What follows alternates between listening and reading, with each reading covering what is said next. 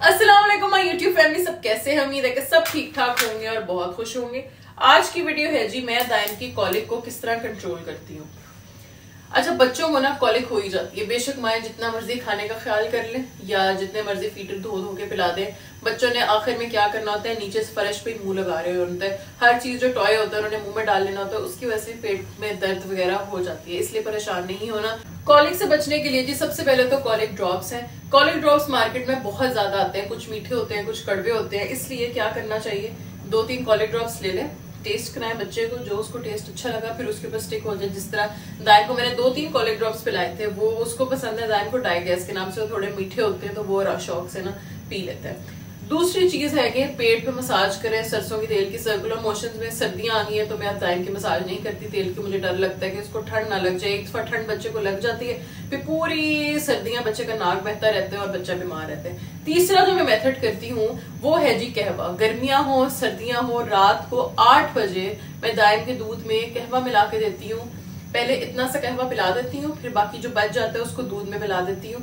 बनाना सिर्फ़ मैंने एक फीटर जितने नाइन या टेन आउंस जितना, इससे ज़्यादा नहीं बनाना। डेली का डेली नया बनाना है, पुराना कहवा पिलाना नहीं चलिए जी, कहवे की रेसिपी बहुत आसान है। एक, दो, तीन, चार इंग्रेडिएंट्स है टोटल और सबके घर में ये इंग्रेडिएंट्स मौजूद होंगे। आप लोग रेसिपी देख लें, फिर हम वापस आते हैं। बिसमीम की रेसिपी शुरू करते हैं। एक चुटकी अजवाइन। चुटकी आपकी छोटी होनी चाहिए। अगर बड़ी चुटकी है तो आधी चुटकी अजवाइन। तीन छोटी इलायची। मोटी इलायची के इसको खोल के हमने चार बीज निकाल लेने हैं।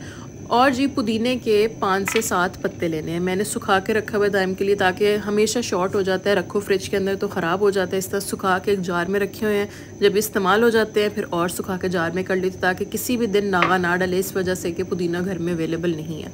फिर हमने क्या करना है? पानी पैन में डालना है और उसको गर्म करना है। इतना पानी डालना है कि बच्चा रात आठ बजे से लेके जब तक सोता नहीं है, तब तक वो कहवा ख़त्म हो जाए। बचाना नहीं है, अगले दिन नहीं पीना, बच जाएगा तो डिस्कार्ड कर देना है। ठीक है जी, नीचे चूल्हा ऑन करेंगे, इसके अंदर बॉयल आने देंगे। बॉयल आने के बाद फिर इसके अंदर हम सारे लवाजमत शामिल करते हैं। ये देखिए जी, मोटी इलायची को खोल लिया है। इसके अंदर से चार से पाँच दाने निकाल लिए हैं और जो इसकी शेल है, इसको हम दोबारा उसी डब्बे में डाल लेंगे। जिस डब्बे से हमने ये निकाली थी, क्योंकि ये दोबारा इस्तेमाल हो जाएगी। ठीक है, इसका हमने इस्तेमाल नहीं करना। ये जो आप लोग को छोटे छोटे सीड्स नज़र आ रहे हैं ना, ये सिर्फ़ इसके अंदर डालने हैं।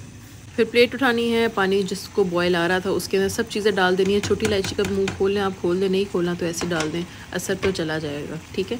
फिर हमने क्या करना है, पानी का कलर जब चेंज हो जाएगा, उसके बाद दो मिनट हमने इसको पकाना है तेज़ आँख पे। जब पानी का कलर वाइट से बिल्कुल इस तरह का कलर हो जाएगा, दो से तीन मिनट पकाना है, ज़्यादा भी पकाने की ज़रूरत नहीं है और इसका चूल्हा ऑफ़ कर देना ये देखिए ऑफ़ कर दिया।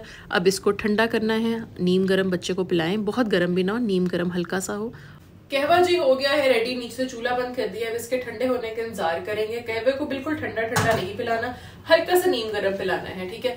अगर किसी बच्चे को आदत नहीं है कहवा पीने की, जिस तरह को आदत है, वो बहुत शौक से कहवा पी लेता है नम नम नम नम करके सारा। जिस बच्चे ने फ़र्स्ट टाइम पीना है, वो थोड़ा सा शहद ऐड कर लिया थोड़ी सी शक्कर या थोड़ी सी चीनी ऐड कर ले ताकि वो शौक से पी ले।